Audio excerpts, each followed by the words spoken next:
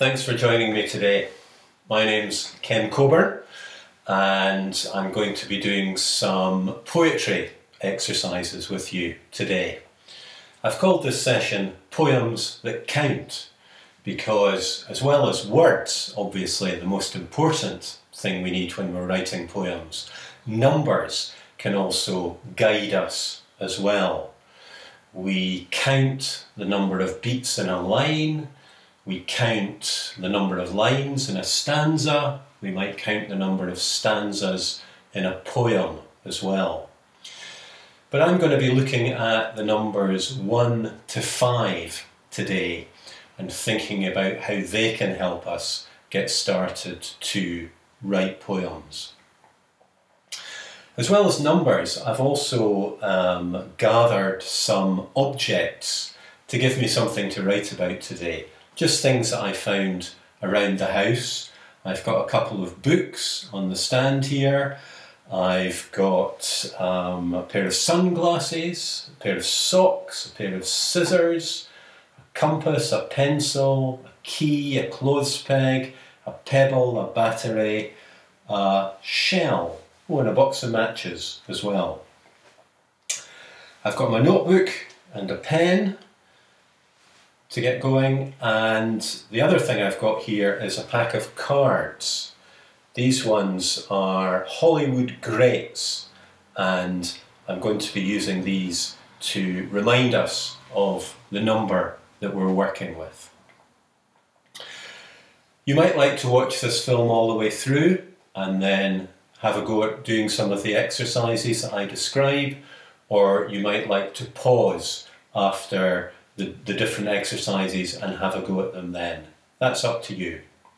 For now, it's probably useful if you have a notebook or a piece of paper and a pen or pencil, either to write as you go along or just to make down any notes, or maybe just to doodle. Sometimes that helps people concentrate as well. I know it does me.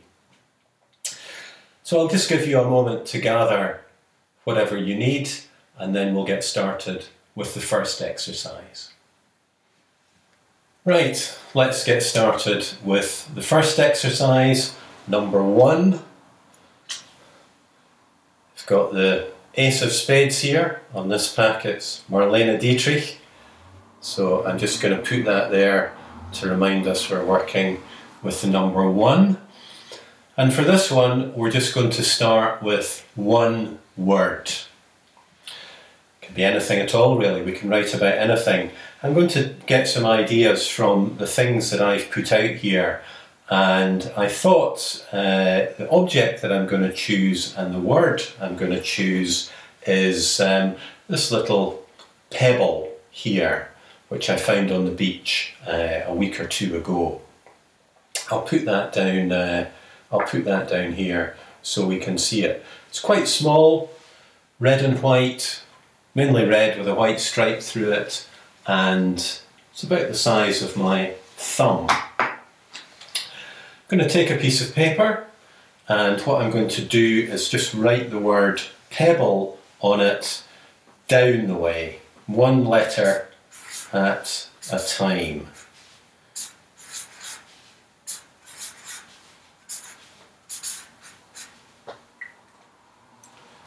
Like like this, pebble. The kind of poem we're going to write is called a mesostic. You might have come across acrostic poems, and there you write the subject of the poem down the side of the page, and then your first line begins with a word beginning with P, the second line E, the third line B, and so on. A mesostic is very similar to that, except you write the word down the middle of the paper and you need to find words with these letters in them, but these letters on the page already can come anywhere in the word. So the first word we choose has to have a P in it, but not necessarily at the beginning. So what I did was I looked at my pebble, I handled it, and I just wrote down some words that described it and the kind of place that I found it. So I wrote down words like beach, smooth, stripe, thumb, white, red, wave, beachcombing, tides, foam, cold, released, beached, tumbled, shore, all these ideas. And then I had a look at the words that had the right letters in them. So I needed to find a word with a P in it to begin with. And in fact, the only one that I wrote down there was stripe. I've got two B's that I need to find words for. So um, I could choose the word thumb, or I've got beach or beach combing, um, and so on. So what I did was I chose some of those words and then I'm just going to write out the poem here and then I'll, uh, I'll show it to you.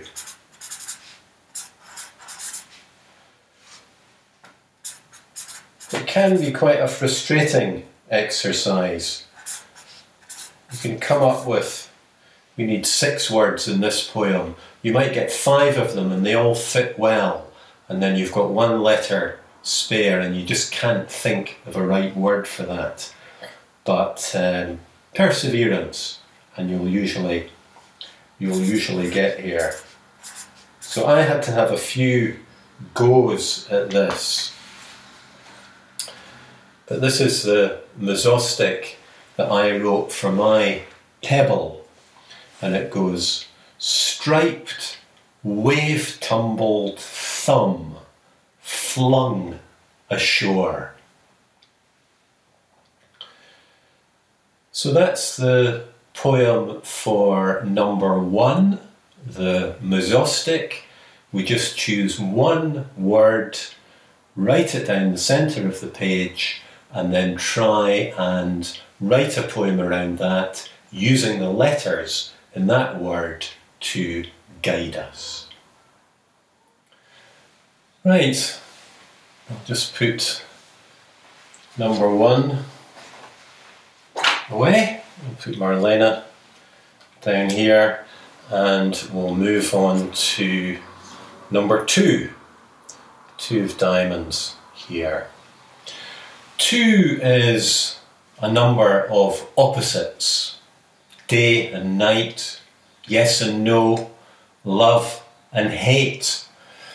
I remember the, the film with Robert Mitchum, The Night of the Hunter, I think, where he has the word love tattooed on one hand and hate tattooed on the other.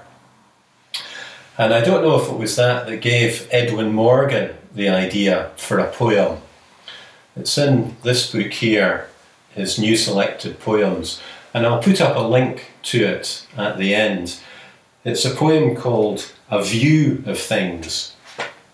And in this, he just alternates lines what I love about, what I hate about. And they're quite random things. The first two lines what I love about dormice is their size, what I hate about rain is its sneer. So, just thinking about the qualities of certain objects and what we might love and hate about them. And so I, I, had a go at doing that with um, some of the objects that I've got here in front of me. And I started with this compass here, and I wrote, What I love about a compass is it always knows the way home. What I hate about a compass is its inflexibility these matches here. What I love about matches is their flame. What I hate about matches is their habit of disappearing. This little shell. What I love about shells is their peaks. What I hate about shells is their clinginess. What I love about keys is their predictability. What I hate about keys is their predictability. You can love and hate the same quality in an object sometimes. What I love about scissors is their dance. What I hate about scissors is their sharp tongue. What I love about clothes pegs is the spring in their step. What I hate about clothes pegs is their unwillingness to let go. And lastly, what I love about sunglasses is their dazzle. What I hate about sunglasses is their disguise.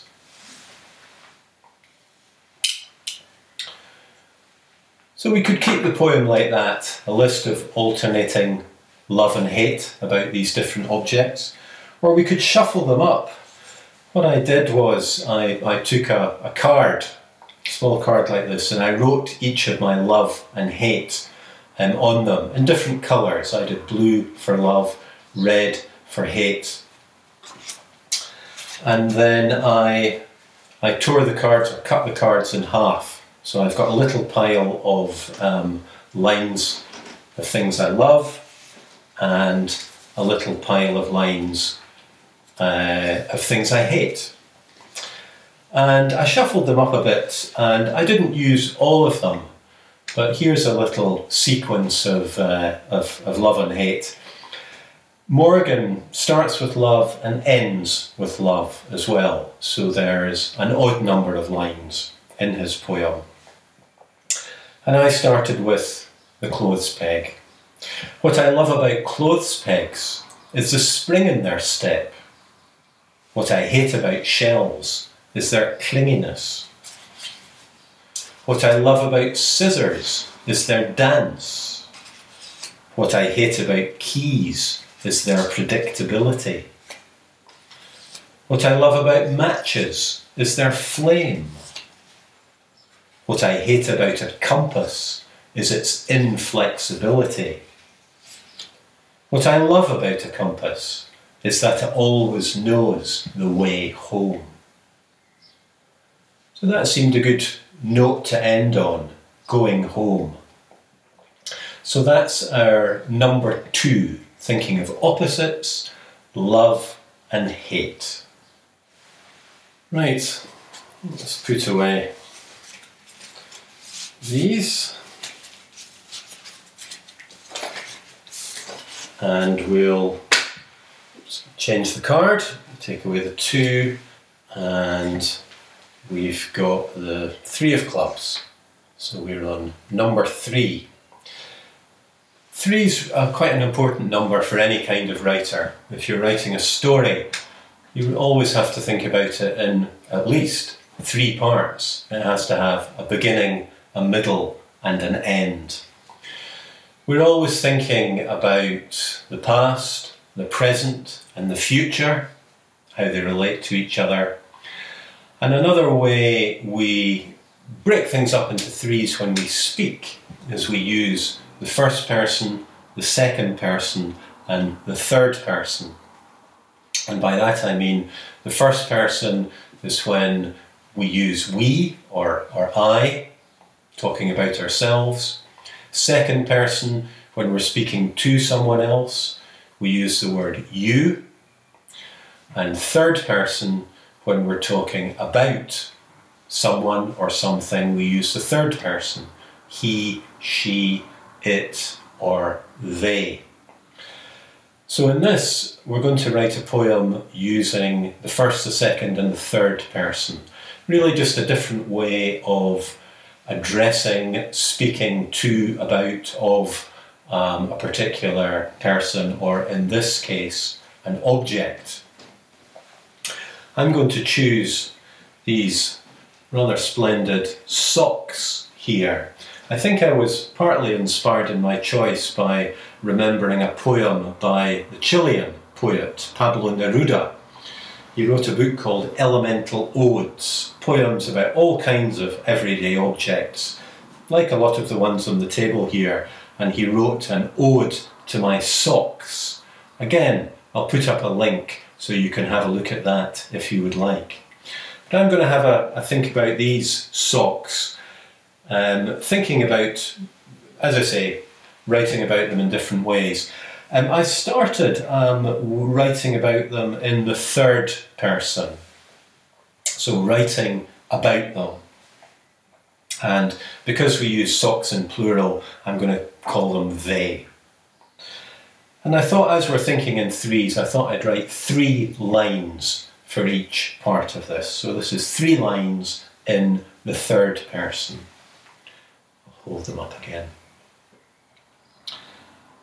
They are made of wool. They are patterned in stripes of uneven width. They are multicoloured blue, red, black, fawn, grass green, pine green. So that's quite a basic description of them. Now you're going to use the second person and actually talk to them. So you were hand knitted by a friend's mother. You came into being in rainy Argyll. You have retained your colours through many washes. And then I'm going to talk about my experience of them, my feelings towards them. I wear them inside my walking boots. I wear them sometimes in bed in winter. I am warmed by their colours whenever I open the drawer. So we're describing the same object but from these three different perspectives. We're talking about them, we're talking to them, and we're talking of our own experience of them. So, as I say, it's an interesting way of thinking about how you relate to any particular object around you. So, that was number three. And we'll move on to number four now. And for this, I'm going to use this object here, which is uh, my compass. Uh, if I just put it down here, so north is just over the shoulder here, south down over towards the window. I'll just put that down beside the, the number four there. There's a poem by Robert Burns. He uses the word airts for meaning the, the directions, the points of the compass. And it goes, Of all the airts the wind can blow, I dearly like the west. For there the bonny lassie lives, the lass that I love best. So in there, we're thinking about the, the airts, the directions, not just as places, as, as directions in which we find places, or perhaps where people live, but also thinking of the emotions that particular directions bring up in us. Somebody lives somewhere in a direction that we love, we might miss someone we might have had sad or unfortunate experiences in another direction.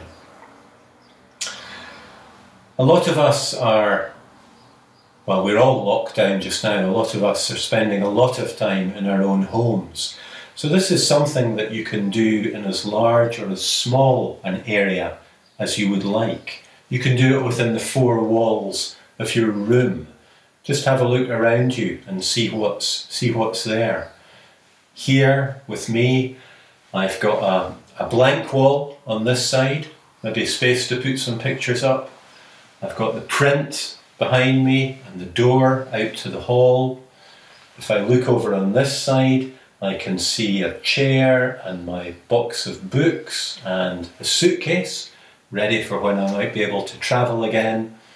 And over here, there's the window. I can see the houses and the gardens on the other side of the street there. So, four different, depending which way I, I look, four different views different opportunities perhaps as well. Thinking a little bit further, what's outside the house? I, I came up with this north, east, south, and west.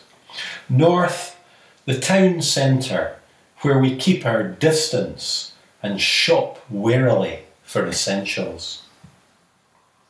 East, the bridge where I pause to watch the river flow. South, the forest enlivened by birdsong, the flash of a woodpecker, the whir of a chaffinch's wings.